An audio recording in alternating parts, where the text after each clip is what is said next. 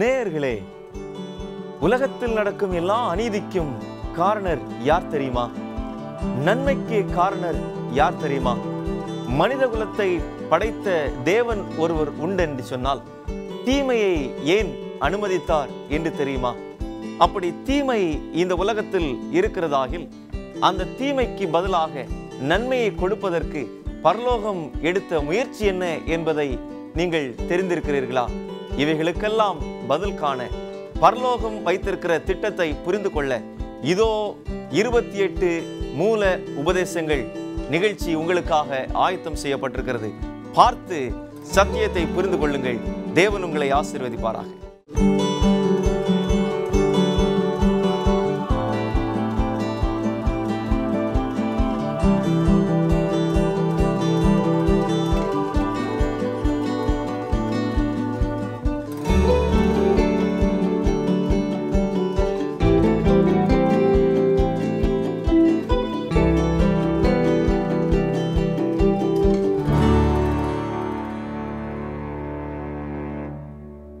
உலகளாவிய hope TV நேர்களுக்கு கிறிஸ்துவின் நாமத்தினாலே வாழ்த்துக்கள். மறுபடியுமாக இந்த இருபத்தி எட்டு மூல உபதேசங்கள் நிகழ்ச்சியின் வாயிலாக உங்கள் சந்திப்பதில் மிக்க மகிழ்ச்சி அடைகிறேன். இந்த நாளிலும் இந்த நிகழ்ச்சியை சிறப்பிக்கத்தக்கதாக நம்ம மத்தியில் போதகர் சார்ல்ஸ் ராஜ்குமார் வந்திருக்கிறார்கள். அவர்களையும் வரவேற்றுக்கொள்வோம் இந்த நாளில் தொடர்ச்சியாக ஏழாவது கோட்பாடை நாம் படிக்க இருக்கிறோம். வாங்க நிகழ்ச்சிக்குள்ளாக போகலாம். பாஸ்டர் தோத்திரம் பாஸ்டர். மீண்டுமாக உங்களை இந்த நிகழ்ச்சியின் வாயிலாக சந்திப்பதில் மிக்க மகிழ்ச்சி. ஏழாவது கோட்பாடை நாம் படித்து கொண்டிருக்கிறோம் பாஸ்டர். இந்த நாளிலும் மனிதனுடைய விழுகையை பற்றி படிக்க இருக்கிறோம். முதலாவது கேள்வியாக ஆண்டவர் ஒரு பூரணமான உலகத்தை படைத்தார். பூரணமான பாவமில்லாத ஒரு நிலையில இந்த பூமியை படைத்த பிற்பாடு பாவம் எப்படி உருவானது? பாவம் என்று சொல்லும் பொழுது மனுகுலத்திலே பாவம் பிரவேசிக்கிறதுக்கு முன்பாகவே தேவ தூதர்களுடைய லோகத்திலே பாவம் பிரவேசித்து விட்டது என்பதை நாம் மனதிலே வைத்து கொள்ள வேண்டும். ஏன்னா வேதம் அதை நமக்கு மிக அழகாக நமக்கு காண்பிக்கிறது. அது எப்படின்னா லைக் இந்த ஏஞ்சலிக் வேர்ல்ட் லூசிஃபர் என்று மிகவும் அழகாக படைக்கப்பட்ட ஒரு தேவ தூதன் அவன் மேட்டிமையானது நிமித்தமாகவும் அதே நேரத்திலே அவனுக்குள்ளாக ஏற்பட்ட அதிருப்தியின் நிமித்தமாகவும் தேவ தூதர்களை தீட்டுப்படுத்தினான். அதை பின்னாடி இந்த டாக்டரினில் ரொம்ப டீட்டெயிலாக நம்ம படிக்க போகிறோம் ஆனால் இதனுடைய ஒரு இன்ட்ரடக்ஷனில் என்ன நம்ம பார்க்குறோன்னா அவன்தான் வந்து ஏவாளை தீட்டுப்படுத்தினான். ஒரு வஞ்சனைக்குள்ளாக வஞ்சித்து ஆண்டவர் செய்யக்கூடாது என்று சொன்ன செயலை நீங்கள் செய்கிறதினால் ஒன்றுமில்லை. நீங்கள் தேவ தூதர்களைப் போல ஆவீர்கள் அல்லது தேவர்களைப் போல ஆவீர்கள். விளக்கப்பட்ட கனியை நீங்கள் புசிக்கலாம் என்று சொல்லி ஆண்டவர் நியமித்த கட்டளைகளிலிருந்து விலகி போக பண்ணினது நிமித்தமாக இந்த பாவம் இந்த உலகத்திற்குள்ளாக பிரவேசித்தது. அதை எப்படி சொல்லலாம் அப்படின்னா தேவனுடைய சித்தத்தை முறிப்பதே பாவம். தேவனுடைய கட்டளையை மீறுவதே பாவம். அல்லது தேவன் ஏற்படுத்தின அவருடைய பரிசுத்த நிலையிலிருந்து விழுந்து போவதே பாவம். இதை எப்படி வேணால் விவரிக்கலாம். இது அனைத்தும் ஆதாமுக்கும் ஏவாளுக்கும் பொருந்தும் அது இன்றைக்கு நமக்கும் பொருந்தும் என்பதை நாம் புரிந்து கொள்கிறோம் இப்- நிச்சயமா பாஸ்டர். இப்போ இப்போ தேவன் படைத்த ஆதாம் ஏவாள் தேவன் படைத்த தூதர்கள் அதில் ஒருவன் தான் லூசிஃபர். அப்போ தேவனுடைய படைப்புகளில் ஒரு ஜீவியாகி அந்த லூசிஃபர் வந்து பாவம் செய்கிறான். வானத்துல யுத்தம் உண்டாகுது. ஆவிக்குரிய ஒரு யுத்தமாக இருக்கிறது. அது இந்த பூமியில வந்து ஆதாமையும் ஏவாளையும் வஞ்சித்து பாவத்திற்கு உட்படுத்துகிறார்கள். அப்போ தேவன் சிருஷ்டிகராய் இருப்பதனால அவர் இந்த பாவத்திற்கும் இந்த பாவம் உருவாவதற்கும் காரணியாக இருக்க முடியுமா? ஆஹ் நிச்சயமா இருக்க முடியாது. முடியாது. இன்னைக்கு நிறைய பேர் அப்படி பார்க்குறாங்க. ஆனால் வேதத்திலே ஒரு சில வசனங்களை நாம் ஆராய்ந்து பார்க்கும் பொழுது முதலாவது ஏசியாவின் புத்தகம் ஆறாம் அதிகாரம் மூன்றாவது வாக்கியம். இது வந்து தீர்க்கதரிசியானவர் தேவனை தரிசிக்கக்கூடிய ஒரு பாக்கியத்தை பெறுகிறார். உசியா ராஜா மரணம் அடைந்த அந்த முதல் வருஷத்திலேயே இந்த தரிசனம் வந்து ஏசியா தீர்க்கதரிசிக்கு உண்டாகிறது. அவர் அந்த தேவனை பார்த்தபொழுது கர்த்தர் பரிசுத்தராக இருக்கிறார். இதோ அவரை நான் பார்த்தபடியினால் நான் அதமானேன் என்று சொல்லுகிறார். இப்போ இதில் என்ன ஒரு மேன்மையை அவர் உணர்கிறார் என்றால் இவர் பூரணமான தேவன். இவர்கிட்ட பாவமோ அல்லது எந்த ஒரு குறையோ இருக்கிறதற்கு என்னவே இல்லை. வாய்ப்பே இல்லை என்பதை நாம் பார்க்கிறோம். அதே நேரத்தில் மோசே தான் வந்து இஸ்ரவேல் ஜனங்களை வழிநடத்தின ஒரு பெரிய தீர்க்கதரிசி என்று சொல்லுகிறோம். அவருடைய வார்த்தை உபாகம் முப்பத்தி ரெண்டு நான்கிலே சொல்லும்பொழுது அவர் நீதி உள்ள தேவன். அவர் வந்து சகலத்தையும் நீதியாக செய்கிறார். அவருடைய கிரியைகள் அனைத்தும் சத்தியமாக இருக்கிறது. உத்தமமான உத்தமமான இது இருக்கு. அப்படின்னா பெர்ஃபெக்ட் என்று ஆங்கிலத்திலே மொழிபெயர்க்கப்பட்டிருக்கிறது. அவருடைய கிரியைகள் அனைத்தும் பரிபூரணம் உள்ளதாக இருக்கிறது என்பதை ஆண்டவர் நமக்கு காண்பிக்கிறார். நிச்சயமாகவே தேவன் பாவத்திற்கு காரணர் அல்ல. ஆனால் இதில் ஒரு விஷயத்தை நாம் புரிந்து கொள்ள வேண்டும். என்னென்னா தேவன் ஒவ்வொரு தன்னுடைய படைப்புக்கும் ஃப்ரீடம் ஆஃப் சாய்ஸ் கொடுத்துருக்கிறார். தேர்ந்தெடுக்கும் பக்குவம் அல்லது தேர்ந்தெடுக்கும் உரிமையை கொடுத்துருக்கிறார். இந்த தேர்ந்தெடுக்கும் உரிமையை இதோ கொடுக்க பெற்றவங்க அதை தவறாக பயன்படுத்தும் பொழுது தான் இந்த பாவம் பிரவேசித்தது. ஒருவேளை மனிதர்களுடைய இதில் இருந்தாலும் சரி மனுகுலத்திலேயும் சரி தேவ தூதர்களுடைய அந்த அவர்களுடைய வம்சத்திலும் சரி அது அவிதமாக இருக்கிறது என்பதை நாம் புரிந்து கொள்கிறோம். கண்டிப்பா சார். அப்போ ஆஹ், தேவன் சிருஷ்டிகராய் இருப்பதனால பாவம் வந்ததற்கு அவர் காரணியாக. முடியாது. நிச்சயமாக அவர் பாவத்திற்கு காரணர் அல்ல. அப்போ இப்போ தேவன் பாவத்திற்கு காரணி அல்ல அப்படின்னா அப்போ அந்த பாவத்திற்கு காரணி மெய்யாகவே யார்? இப்போ நீங்கள் பார்த்தீங்கன்னா சாத்தானுடைய விஷயத்தில் இன்னைக்கு நாம் சாத்தானால் தூண்டப்படுகிறோம். ம். சரிங்களா? சோதிக்கப்படுகிறோம். வஞ்சிக்கிற ஆவிகள் வஞ்சித்தது என்று சொல்லி. ஆனால் சாத்தானுடைய விழுகையை குறித்து நாம் பார்க்கும்பொழுது அவன் வஞ்சிக்கப்பட்டதாகவோ அல்லது வேறொரு ஆவியினால் அவன் தூண்டப்பட்டதாகவோ அல்லது வேற யாரோ அவனை பாவத்திற்கு வழிநடத்தினதாகவோ நம்ம எங்கேயும் என்ன பண்ண முடியாது? பார்க்க பார்க்கவே முடியாது. அதை குறிப்பாக நாம் யாக்கோபின் புத்தகம் ஒன்றாம் அதிகாரம் பதிமூன்றாவது வசனத்தை நாம் வாசிக்கும் பொழுது ரொம்ப அழகா அதை சொல்றார். அவர் வந்து ஜோதிகளின் பிதாவாக இருக்கிறார். அவர் ஒருவரையும் பொல்லாங்கினால் சோதிக்கிறவர் அல்ல. இப்போ இதை வந்து வெறும் மனுகுலத்துக்கு மட்டும் நம்ம ஒப்பிட்டு பார்க்க முடியாது. தேவதூதர்களுடைய லோகத்துக்கும் நம்ம இதை ஒப்பிட்டு பார்க்க வேண்டும். ஒருவேளை ஆண்டவரே சாத்தானை வேறு விதமா சோதிச்சிருப்பாரோ அப்படின்னு நினைக்கிற மனிதர்களுக்கு பதில் இதில் தான் இருக்கு. அந்த வசனத்தை வாசிங்க. யாக்கோபு ஒன்று பதிமூன்று. சோதிக்கப்படுகிற எவனும் நான் தேவனால் சோதிக்கப்படுகிறேன் என்று சொல்லாதிருப்பானாக. தேவன் பொல்லாங்கினால் சோதிக்கப்படுகிறவர் அல்ல. ஒருவனையும் அவர் சோதிக்கிறவரும் அல்ல. புரியுதா? உங்களுக்கு ரெண்டு விஷயத்தை இங்க யாக்கோபு சொல்றார். அதாவது தேவனையும் யாரும் பொல்லாங்கினால் என்ன பண்ண முடியாது? சோதிக்க முடியாது. அதே நேரத்தில் அவரும் பொல்லாங்கினால் யாரையும் என்ன பண்றதில்ல? சோதி சோதிக்கிறது இல்லை என்பதை நாம் பார்க்கிறோம். அப்போ தீமையானது லூசிஃபருக்குள்ளாக வந்தது என்றால் அது அவனுடைய அதிருப்தியின் நிமித்தமாகவும் அவனுக்கு ஆண்டவர் கொடுத்த பொறுப்பை அவன் சரியாக ஆற்றாத நிமித்தமாக ஒரு வகையான பெருமை அவனுக்குள்ளாக வந்தது நிமித்தமாக என்று பார்க்கிறோம். ஆனால் வேதாகமத்தை நம்ம நல்லா வாசிக்கும் பொழுது பாஸ்டர் சங்கீதம் ஐந்து நாளை நம்ம வாசிச்சா ஆண்டவர் பாவத்தை அறவே வெறுக்கிறார் என்று பார்க்கிறோம். வெறுக்கிற விஷயத்தை ஆண்டவரே உற்பத்தி பண்ணுவாரா? அல்லது வெறுக்கிற ஒரு விஷயத்தை ஆண்டவரே வந்து அதை பரவ செய்யத்தக்கதாக அவர் அதை விட்டு விடுவாரா என்று பார்க்கும்பொழுது நிச்சயமாய் இல்லை என்பதை நாம் பார்க்கிறோம்.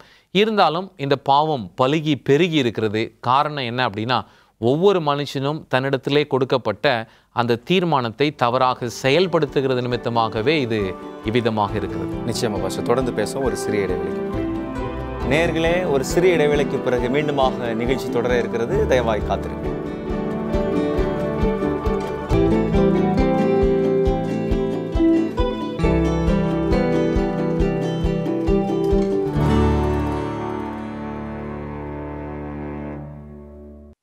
இடைவேளைக்கு பிறகு மீண்டுமாக நிகழ்ச்சி தொடர்கிறது. வாங்க நிகழ்ச்சிக்குள்ளாக போகலாம். பாஸ்டர் இடைவேளைக்கு முன்பதாக பாவத்திற்கு காரணி யார் என்பதை அஹ், நீங்க விளக்கி கொண்டிருந்தீங்க. இப்போ பாவத்திற்கு லூசிஃபர் தான் காரணம் என்பதை பதிவு செஞ்சீங்க. இப்போ அந்த லூசிஃபர் தான் பாவத்திற்கு காரணி என்பதற்கு வேத ஆதாரங்களை கொஞ்சம் கொடுங்களேன். இப்போ இந்த ரட்சிப்பின் திட்டத்தை தேவன் நிறைவேற்றுகிறதற்கு ஏதுவாக இந்த பூமியிலே வந்தபொழுது அவர் நித்திய ரட்சிப்பை உண்டு பண்ணினார் என்று சொல்லி எபிரேய புத்தகம் ஐந்தாம் அதிகாரம் ஒன்பதாவது வாக்கியத்திலே நாம் வாசிக்கிறோம். இதுல என்னன்னா தேவ தூதர்களுடைய லோகத்தை தீட்டுப்படுத்தினது மாத்திரமல்லாமல் மனுகுலத்திற்குள்ளாக பாவத்தை உட்பிரவேசிக்க பண்ணினது மாத்திரமல்லாமல் அகிலத்தையும் படைத்த தேவனையும் பாவத்திற்குள்ளாக அமிழ்த்தி ரட்சிப்பின் திட்டத்தையே கவிழ்த்து போடலாம் என்பதிலே இதோ லூசிஃபரும் அவனை சார்ந்த தூதர்களும் குறியாக இருந்தார்கள் என்கின்ற இந்த மூன்று காரியத்தை நாம் மனதிலே வைத்துக் கொள்ள வேண்டும். இந்த மூன்று காரியத்தை நாம் மனதிலே வைத்துக்கொண்டு இந்த வேத பகுதிகளை கவனித்தால்தான் இது வந்து எவ்வளவு கொடூரமாய் இவன் பாவத்தை வளர்த்திருக்கிறான் அந்த பாவத்திலே அவன் வளர்ந்திருக்கிறான் என்பது நமக்கு தெரியும். குறிப்பா மூன்று வேத பகுதி தான் பாஸ்டர். ஒன்று இசைக்கலின் புத்தகம் இருபத்தி எட்டாம் அதிகாரம். இது வந்து நிறைய நேரத்தில் நம்ம இதை வாசிச்சிருக்கிறோம். ஏதோ ஒரு ராஜாவுக்கு சொல்லப்பட்டது போல அந்த ராஜாவை குறித்து சொல்லப்பட்டிருந்தாலும் அதனுடைய மேற்கோள் குறிப்பா அது யாரை குறித்து சொல்லுகிறது என்றால் இங்கு லூசிஃபரை குறித்து சொல்லுகிறது. இந்த வேத வசனங்களை நாம் இங்கு வாசிக்கும் பொழுது பதினேழாவது வசனத்தை வாசிக்கும் பொழுது அவனுக்குன்னு ஒரு விசேஷித்த பொறுப்பை ஆண்டவர் கொடுத்திருந்தார்.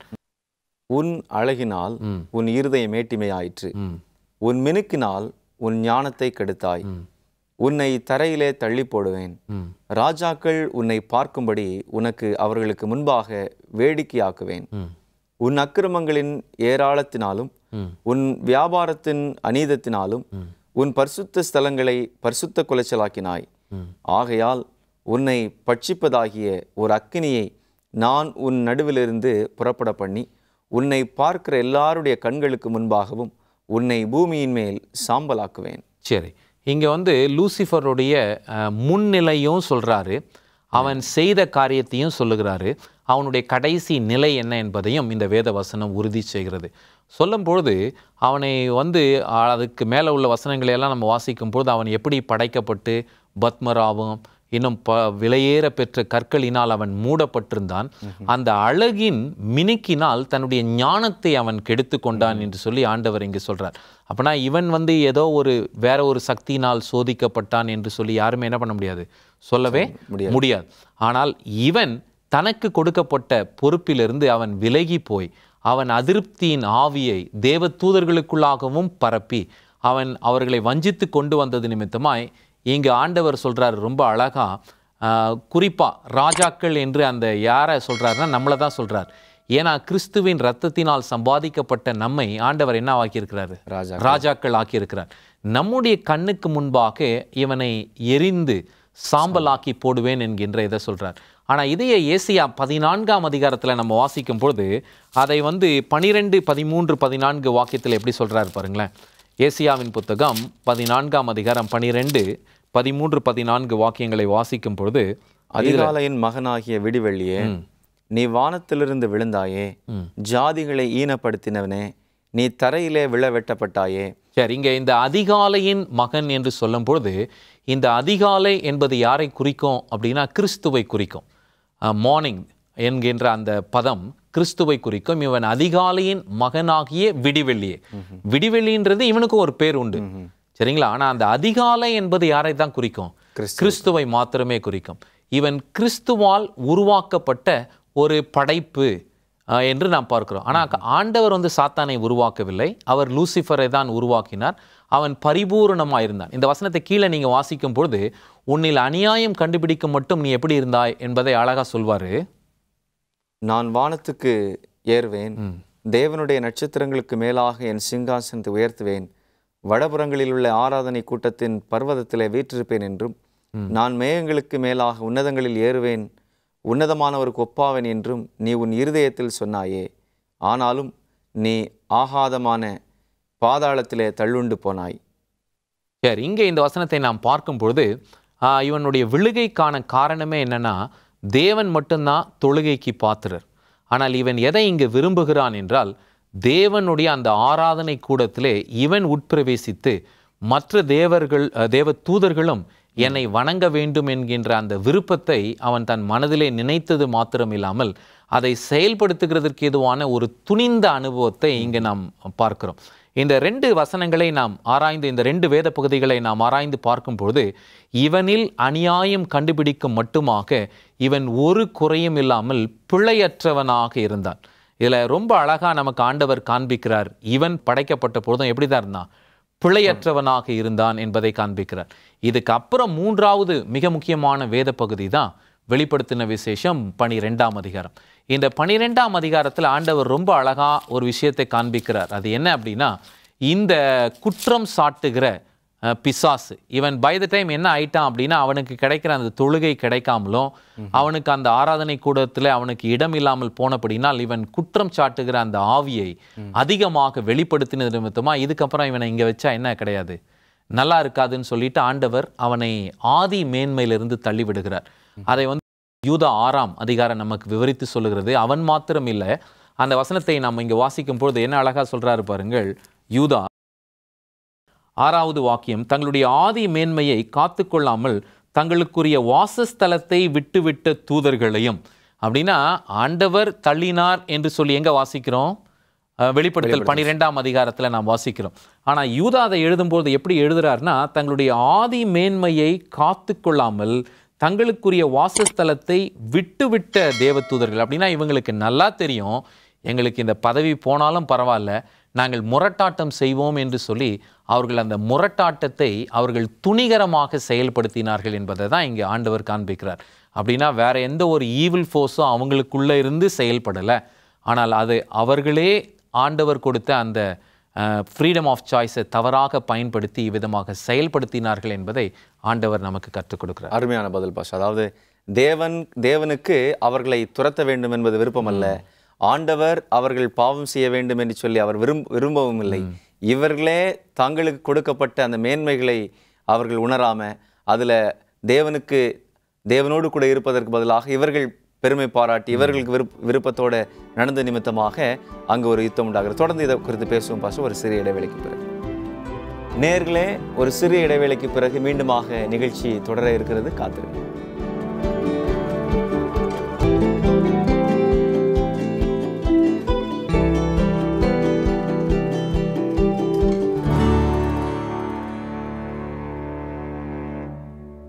இடைவேளைக்கு பிறகு மீண்டுமாக நிகழ்ச்சி தொடர்கிறது. வாங்க நிகழ்ச்சிக்குள்ளாக போகலாம். ஃபர்ஸ்ட் இப்போ நம்ம எதை குறித்து பேசி கொண்டிருந்தோம் அப்படின்னா சாத்தான் தான் பாவத்திற்கு காரணி. ம். அவன் யாராலையும் சோதிக்கப்படவில்லை. அவனே பாவத்திற்கு காரணியாக இருந்து பாவத்தை உருவாக்கினான் அப்படின்றத பார்த்தோம் பாஸ்டர். இப்போ தொடர்ச்சியாக இப்போ இந்த பூமி ஆண்டவர் படைக்கும் பொழுது பூரணமாக அழகாக ஆதாமும் ஏவாளும் சுதந்திரமாக வாழ்ந்து அருமையாக தேவனுடைய திட்டத்தை செயல்படுத்துகிற ஒரு சூழலில் இருந்தார்கள் ம். ஆனா அப்படிப்பட்ட ஒரு பூரணமான நிலையில. எப்படி பாவத்திற்குள்ளாக விழுந்து விட்டார்கள் இந்த வேத பகுதிகளை நாம் சற்று கவனமாக படிக்க வேண்டும் இதில் வந்து லூசிஃபர் தன்னுடைய ஸ்தானத்திலிருந்து தள்ளப்பட்ட பொழுது அவன் வந்து வான மண்டலங்களுக்கு மேலாக தன்னுடைய ஸ்தானத்தை அமைத்தான் என்று பார்க்கிறோம். இதில் இவன் எத்தனை உலகங்களை போல் போய் இவன் சோதித்தான் என்பது நமக்கு தெரியாது. ஆனால் நிச்சயமாக இவன் வந்து உத்தரவு கேட்டு கொண்டிருக்க வேண்டும். ஏன் அப்படின்னா யோபு ஒன்றாம் அதிகாரத்தை நாம் வாசிக்கும் பொழுது இவன் ஆண்டவர்கிட்ட போய் நான் வந்து சோதிக்கணும்னு உத்தரவு கேட்கிற ஒரு அனுபவத்தை நாம் பார்க்கிறோம். அது நமக்கு எழுதி கொடுக்கப்பட்டிருக்கிறது. ஆனால் மற்ற லோகங்களை போய் எத்தனை லோகங்கள் இவன் சோதித்தான் என்றெல்லாம் நமக்கு தெரியாது. ஆனால் ஒரே ஒரு உலகம் மாத்திரம் பாவத்திற்குள்ளாக விழுந்து விட்டது அது இந்த உலகம் என்பதை வேதாகமும் நமக்கு ரொம்ப அழகாக காண்பிக்கிறது. ஏன்னா இதை எப்படி நாம் தெரிந்து கொள்கிறோம் என்றால் கிறிஸ்து கற்றுக் கொடுத்த ஓமானம். அந்த ஓமானத்தில் நூறு ஆடு இருந்தது. அதில் ஒரு ஆடு மாத்திரம் தப்பி போனது என்பது இந்த ஒரு உலகத்தை குறிக்கக்கூடிய வகையிலும் மற்ற லோகங்கள் இருக்கிறது அது பாவம் இல்லாமல் இருக்கிறது. சாத்தானுடைய வஞ்சனையிலே விழவில்லை என்பதை அந்த ஒரு ஓமானத்திலிருந்து நாம் புரிந்து கொள்ளுகிறோம். அது மாத்திரம் இல்லாமல் இங்கு விழுகைக்கான முதல் காரணம் என்ன அப்படின்னா ஆண்டவர் ஏதேன் தோட்டத்திலே ஆதாமியும் ஏவாளையும் படைச்சிட்டு அவங்களுக்கு அழகான கட்டளைகளை கொடுத்துட்டு இவங்களை ஒரு இயந்திரமா ஆண்டவர் படைக்கல. இயந்திரமா ஆண்டவர் படைத்திருந்தா ஆண்டவர் என்ன அவங்களுக்குள்ள ப்ரோக்ராம் பண்ணியிருந்தாரு? இப்படி தான் செய்யணும் அப்படின்னு அவங்க அதை மாத்திரம்தான் செஞ்சிருப்பாங்க. அன்பு என்கின்ற அந்த வெளிப்பாடுக்கு இவங்க என்ன இருந்திருக்க முடியாது? சுதந்திரவாளிகள் சுதந்திரவாளிகளாக இருந்திருக்க முடியாது. தேவன் அன்புள்ளவர் அவருடைய அன்பை நாம் ருசிக்க வேண்டும்.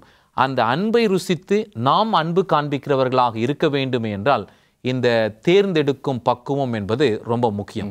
இதை ஆதாமுக்கும் ஏவாளுக்கும் ஆண்டவர் கொடுத்து சுதந்திரத்தை நிறைய கொடுத்திருந்தார். ஏதேன் தோட்டத்தை நம்ம பார்க்கும் பொழுது சுதந்திரம் தான் அதிகம். ரிஸ்ட்ரிக்ஷன் ஒண்ணே ஒன்று தான். அதுலயும் குறிப்பாக அந்த தோட்டத்தின் நடுவில் இருக்கிற விளக்கப்பட்ட கனி tree of good and evil அப்படின்னு சொல்லி அறியத்தக்கதான நன்மை தீமை அறியத்தக்க அங்கு மாத்திரம் நீங்க போய் அதை மாத்திரம் புசிக்க கூடாது அதுல குறிப்பா இவங்களுக்கு என்ன கட்டளை கொடுத்திருந்தாருன்னா ரெண்டு பேரும் பிரியாதீங்க. ஒண்ணாவே இருங்க. பிரிந்து போவீர்கள் என்றால் எளிதாக யார்கிட்ட வஞ்சனையில் அகப்படுவீங்க? லூசிஃபருடைய வஞ்சனையில் அகப்படுவீர்கள் என்பதை ஆண்டவர் உங்களுக்கு முன்கூட்டியே எச்சரித்திருந்தார்.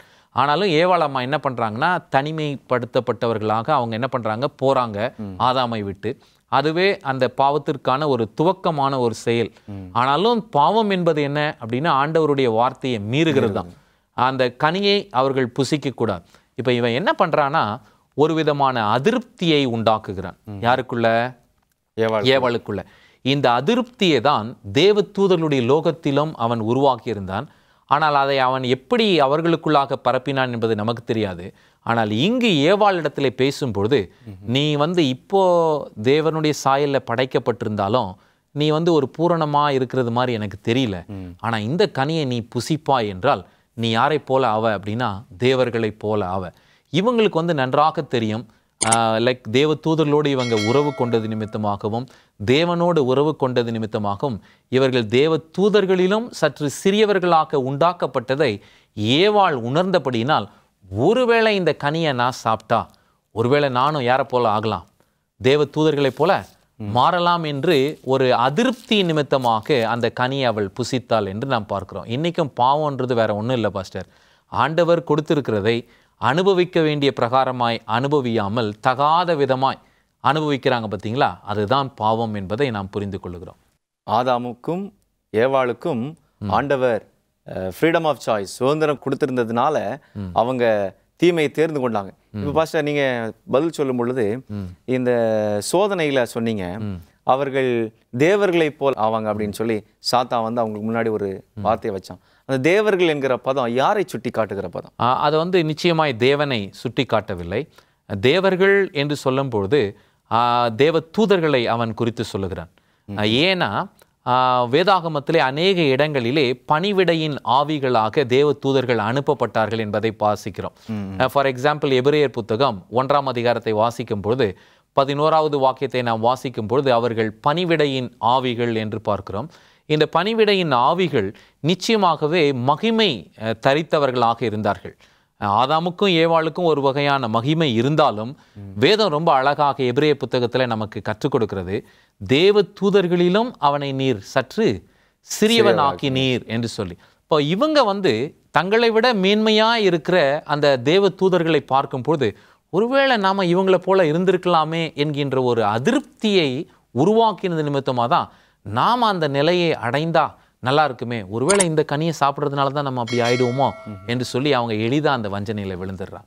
ஆமா. இப்போ ஆஹ், ஏற்கனவே நீங்க சொன்னது போல ஆதாமும் ஏவாளும் சேர்ந்து இணைந்து இருக்க- வேண்டும். ஆனா ஏவாள் வந்து ஆதாமை விட்டு தூரமாக இருக்கும் பொழுது தூதர்கள் வந்து எச்சரித்திருப்பார்களா? நிச்சயமா. தூதர்கள் வந்து அவர்களை எச்சரித்து சொல்லியிருந்தாங்க. ஆனா இந்த ஒரு அனுபவத்துல வந்து நாம் ஒரு விஷயத்தை கவனிக்கணும். ஆண்டவர் எங்கேயுமே பாவம் செய்ய துணிகிறவனை கையை பிடிச்சு நீ போகாத நீ செய்யாதே என்று சொல்லுகிறது போல எங்கேயுமே இல்லை. வேதாகமத்தில் ஆண்டவர் சில நேரத்தில் சொப்பனங்களின் மூலமா எச்சரிப்பு கொடுப்பார். அபிமெலேக் என்கின்ற ராஜா ஆபிரகாமுடைய மனைவியை எடுத்துக்கொள்ள அவன் பிரயாசம் எடுத்தபொழுது ஆண்டவர் சொப்பனத்தினாலே எச்சரித்தார். இப்படி எச்சரிப்புகளின் சத்தத்தை கொடுத்து தீர்க்கதரிசிகளை அனுப்பி தம்முடைய ஆவியானவரை அனுப்பி தேவதூதர்களை அனுப்பி ஆண்டவர் எச்சரித்திருந்தார் என்பதை நாம் பார்க்கிறோம். லோத்துவினுடைய அனுபவம் ஆபிரகாமுடைய அனுபவம் இப்படி பல அனுபவம். ஆனா வலுக்கட்டாயமா பிடிச்சு நீ பாவம் செய்யாதன்னு ஆண்டவர் யாரையும் நிறுத்த மாட்டார். தேவன் வந்து பாவத்தை தூண்டுகிறவரும் அல்ல பாவம் செய்ய போறவன் பிடிச்சு கட்- வலுக்கட்டாயமாக செய்யாதே என்று சொல்லுகிறவரும் அல்ல. அன்பான தேவன். நிச்சயமாக இந்த நாள் நிகழ்ச்சியும் எங்களுக்கு ஆசீர்வாதமா இருந்தது பாஸ்டர். மிக்க நன்றி. நேயர்களே தேவன் பாவத்திற்கு காரணர் அல்ல. பிசாசானவனே பாவத்திற்கு முதலாவது காரணி. அவன் சோதிக்கப்படாமல் யாரும் அவனை சோதிக்கவில்லை. ஆனாலும் பாவத்தை அவன் உற்பத்தியாக்கி அவன் பாவத்தை செய்தான். இந்த நாட்களில் உங்களையும் என்னையும் அந்த பொல்லாத பாவத்திற்குள் தள்ளி பரலோகத்தை விட்டு பிரிப்பதற்காக வகை தேடிக் கொண்டிருக்கிறான் அவனுக்கு நாம் ஜாக்கிரதையாக இருப்போம். தேவன் அன்பான தேவன். அவர் கரம் கூப்பி அழைக்கிறார். ஒவ்வொரு நாளும் வேத சத்தியத்தை இந்த நிகழ்ச்சியின் வாயிலாக சந்தித்து தெரிந்து கொண்டு கிறிஸ்துவுக்குள் வாழ உங்களை அன்போடு அழைக்கிறோம். கர்த்தர் உங்களை ஆசீர்வதிப்பாராக. நன்றி.